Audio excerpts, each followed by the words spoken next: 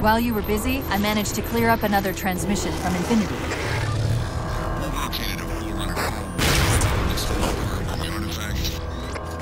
Sounded like he said artifact. I wonder if it's related.